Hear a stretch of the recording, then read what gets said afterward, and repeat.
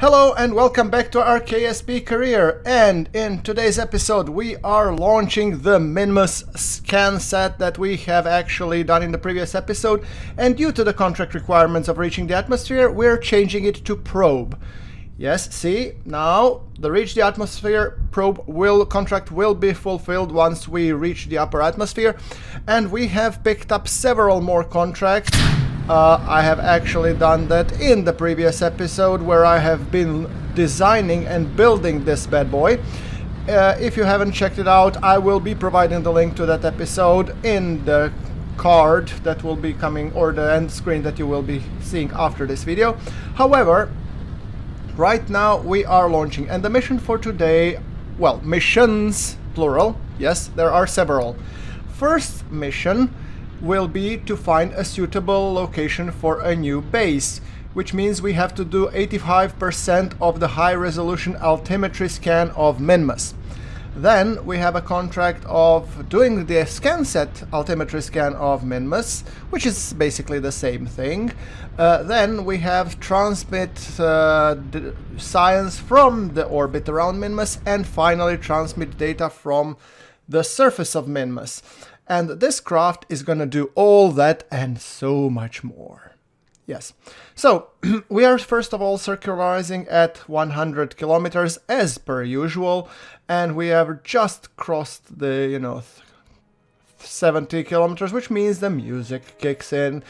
Oh, I just love that piece of the, you know, KSP. I love Kevin MacLeod's music. It's amazing.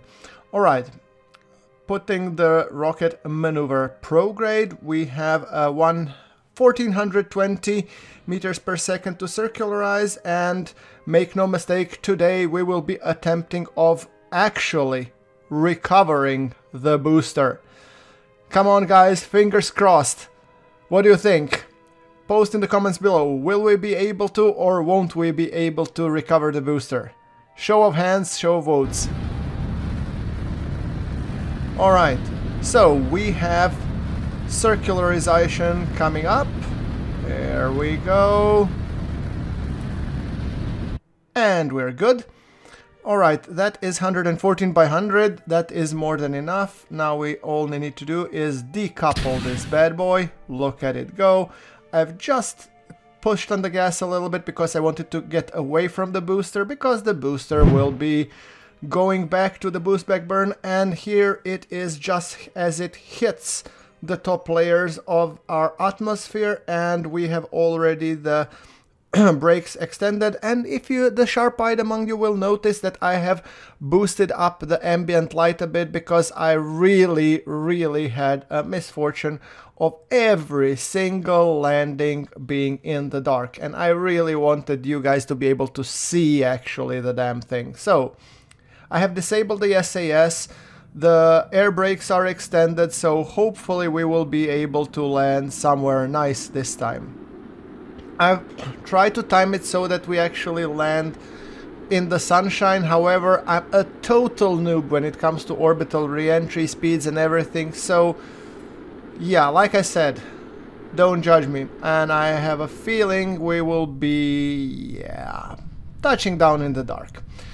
Well, okay, let's see if we can... Yeah, we are just shy of the lawn order. Oh well, it happens. Okay, Minmus Science has, you know, whatever. Boosting, boosting, come on. Landing legs, okay, and alright. A little bit more and touchdown.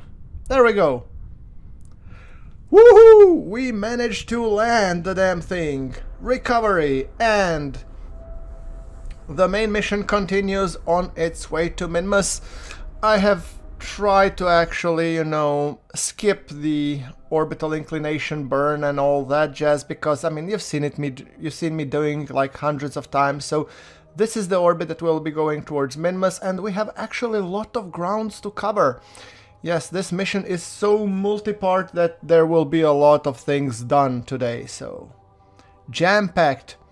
Bye-bye Kerbin and onwards to Minmus. Yeah, let's see how Mun is close. Minmus is the stuff. Anyway, we are coming on Minmus and I want to be going into the polar orbit of roughly 250 to 300 kilometers. So here is me just preparing for the circularization burn at that time and let's take a nice look as we approach the south pole of Minmus. Beautiful. Hello Minmus. I know that some of you guys are already, you know, sick of me doing Minmus missions, but yeah. Uh, truth be told, I'm playing with Kerbal Construction Time. It takes a lot of while until something gets to Duna. But uh, as we go further along, I will be intensifying more Duna, Eve, and interplanetary operations, but we still have to get there first, you know? So... Yeah, see, 117 days until we get to Duna with the first one, and then 138 till we get to Eve. So, not so far now, but it will be fun, I think. Anyway, we are preparing for the orbital insertion burn. That should take 181 meters per second. And, you know, the Poodle can handle it no problemo. Okay, 250 by 250. And I think it's time that we deploy our SCANSat. So, in order to do that, I want to actually first make sure that I have con connections. Meaning, I'm going to extend this antenna. I'm going to extend this antenna and then I'm gonna be extending a single solar panel just to make sure that we have power generation. We have some power stored in the batteries, however, I just want to make... Oop! Don't mind hitting the head. Whoopsie. Alright, doesn't matter. Extending the rest of the solar panels. And I think 250 altitude should be in theory ideal, right? Or, let me see. Uh, first things first we have to transmit science data from orbit around Minmus. So right now we're doing a little bit of, you know, forced run. So I want to make sure that we actually get this experiment done. I want to engage the thrusters and I want to take just a little nudge in the other direction. Look how beautiful it really is. Really like the looks of it. Amazing. Alright, 150 collected soon enough when we collect the rest. This science will be transmitted, hopefully, and everything will be hunky-dory. Right, okay, solar panels turning, and oh, we have one of the monoprop engines who is not performing. Alright, failed. Well, I think the other one shall be working, so I don't care, to be honest. Should provide enough thrust, hopefully the you know, we can still spin it. And we have sent, and there we go, science data from space around Minmus. Done. Nice. Alright, let's get into the SCANSat. So what does our SCANSat say? SR. The scan is happening, although I'm just trying to get the scan sensor information. Suboptimal. They said 200 and over 250 kilometers is ideal. Okay, so I guess we're too low then. So what we need to do is we just need to raise our apoapsis and periapsis to say 300, so we're gonna do that. Okay, and let's gently just touch it. See? 319. Okay, that will be much better. And then let's go to the apoapsis. On Science Station, Alex Kerman is exposed to extreme radiation. Why? Oh, I see the icon there on the top. The, the red icon. Power, what does that mean? But this is actually for the Minmus SCANSat. Oh, hold on. Let me just raise the periapsis, otherwise I'm gonna forget about it. So ever so carefully, just gently... Oh, solar storm in progress! Oh boy! Okay, now I get why Alex is feeling a little bit roasted. Okay, so I guess... Okay, we are now at ideal, you know, altitude for scanning. So I think what we need to do is to do a quick selfie. We And also at ideal for multispectral scans, so we should probably enable the multispectral, you know, scanning stuff and then be none the wiser. So, screenshot, no, no, turn around, turn around, like this, like this. Okay, doke, come on, yeah, oh, that's better. Okay, Screenshot taken. Now, let's go to the station. Okay, here we go. Station, you are exposed to extreme radiation. Sorry about that, Alex. Let's Uh, one tip, if you're experiencing the solar storm, meaning that you have to quickly put a tank that's full of fuel between the sun and you. So solar storm in progress, it will remain for 59 minutes, so yeah. Okay, let's see if we can reduce the amount of radiation that Alex is getting. Okay, sounds like this is actually starting to work. It, you can see the icon changing. Okay, so it's going from dangerous to just regular. Okay, now let's go back to our Sciencer craft. So, now we have successfully launched the SCANSat and it will be doing its stuff, but now we want to be deploying the small Minmus lander. So what I'm gonna do now, I'm just gonna go and reduce my periapsis and ultimately I would like to deploy my Minmus lander somewhere on one of the, you know, lake beds. So I'm actually getting here to periapsis, then I'm gonna decrease my periapsis to say 10 by 10, I think. Something like that would be fine. Okay, 15 by 9. Okay, yeah, I'll take it. However, here I'm gonna be turning very hard to... Almost said to starboard. Some things never change. Anyway, I'm turning really hard to actually normal just to make sure that we turn towards this lake bed that, bed that I see over here. And I want to alter the trajectory of the lander that it lands somewhere on the lake bed and then we will be activating the seismic sensor and then hitting it. So hopefully that should be fine. And we are sometimes seeing we're losing power on the station, so in the future episode I definitely want to address that by sending a probe that has that is jam-packed with batteries, so hopefully it will be significantly easier to actually go with it. So we are now at 5 seconds to burn and let's go. There we go. Have we successfully changed our trajectory? Yes, to a degree. Okay, good. Now, let's extend the solar panel for this little dinghy and then let's make sure that it lands where it needs to. Look at the solar panels opening. Thank you extending the antenna. You're on your own, buddy. And come on, disconnect. There we go. Look at our dinky little lander. A little dinky lander that could. Now, perfect. Okay, I'm actually worried that I'm gonna be missing that lake bed. Look, see how it's going? Oh boy. Okay, let us just make a small maneuver correction where we will ensure that we go in the right direction. So, reduce, and then turns towards the middle of that lake bed. Okay, there we go. 111 meters per second, no problemo. We have plenty of, you know, fuel. So in 10 seconds, 5, 4, 3, 2, 1, and ignition. We're having the Ant engine, but given that this probe is so small, the Ant engine is actually more than sufficient and more than capable of doing this what we need, so overall I'm happy. Now, that being said, alright, let's get ourselves landed. Just turning into the right orientation, and then I will be extending... I'm trying to get a nice cinematic view, you know, but yeah. Alright, there we go, so hopefully extending the landing legs, and then we will go, let's just go for the altimetry, and oh, look at this, this is just gold. Beautiful.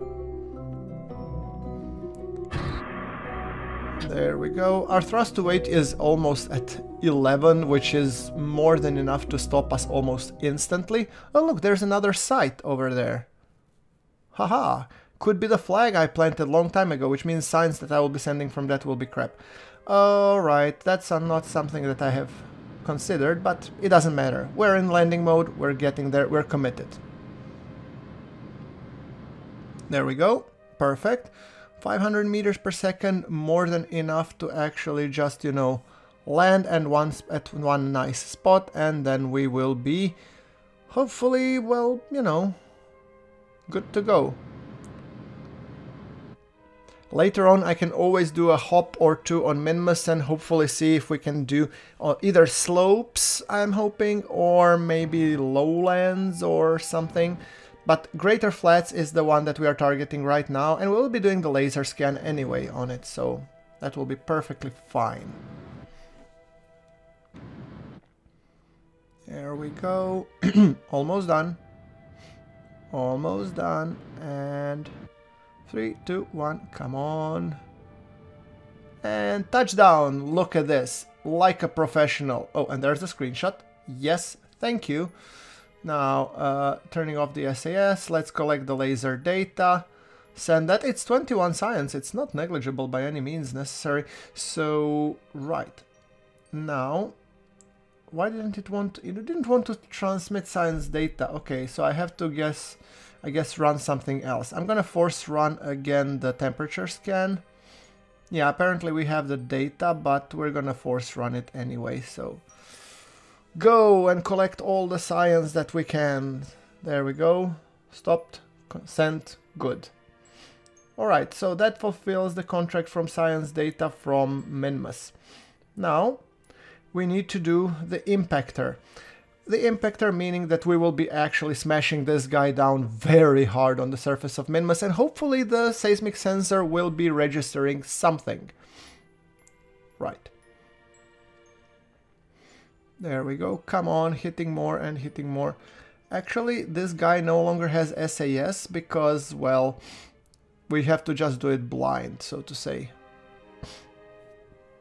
Which is a little bit, you know, just a smidge disconcerting, but if I... Oh, laser surface scan sent, 21, so data from Minmus sent, perfect.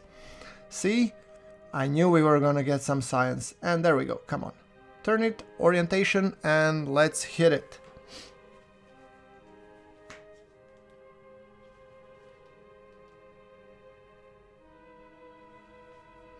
Very nice, and hitting it. Oh, actually it's quite hard to steer it. We have don't we don't have stability assist, so it's just you know flipping willy nilly. Okay, settle down, settle down. There we go. A little bit further, a little bit further, and I think we will be good. Good. I actually think that will be fine. Now let's take this rotating craft and use every single little piece of it what we can. So we have recovered the booster, we use the lander, we're using the SCANSat, and this guy will become our impactor. Lithobraking time. Beautiful screenshot, there we go. 10 kilometers off and 5 kilometers off that site. Can we actually bomb that site? Maybe. Uh, okay, turning and come on decelerating? No, actually let's accelerate this way. We are not landing, so we don't have to be really careful in terms of landing. So let's just help it out. Now, accelerate. There we go. And kaboom! Blink. I really do hope that the science actually registered that. Alright, so that contract is complete, science data from surface of Minmus, which brings the rest of the things that will need to be executed, you know, over time. So hopefully we will be checking the results in the next episode. But until then, fling a like at this episode if you're so inclined, and I will see you in the next one. Thank you very much for watching, this is GrunfWorks signing off.